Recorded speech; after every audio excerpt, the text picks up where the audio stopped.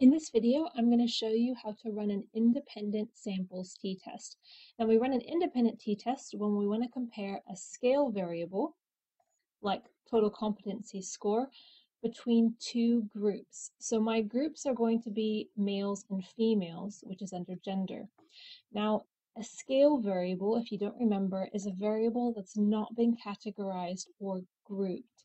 So you see here I have raw scores from a test Something like satisfaction here, which is ordinal, I look, even though it has numbers, is not scale, it's ordinal, so I cannot use a t-test. So I'm going to use total competency and gender. Now before we get started, we just need to have a look and see what our codes are for our grouping variable. So if I have a look here, I can see I've coded my gender as 0 and 1, or 1 is female and 0 is male. Now you can find a t-test under the Analyze menu, compare means, and independent samples t-test. Now we're going to put our test variable, which is total competency, into our test variables box. And we're going to put our grouping variable into our grouping variables box. Now we just need to define our groups. So click on the define groups button.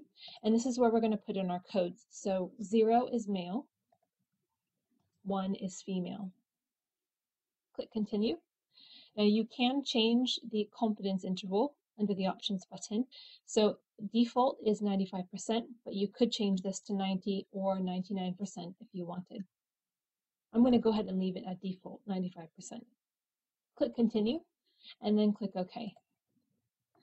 Now in our output file, we're going to get two tables. One is the group statistics, which is just some descriptive showing the means and standard deviations. And the second table is the one that gives us the result of the t-test. And we're going to look at how to interpret this table in the next video.